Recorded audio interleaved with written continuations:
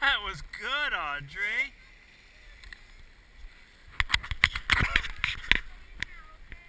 I'll go one more time with you.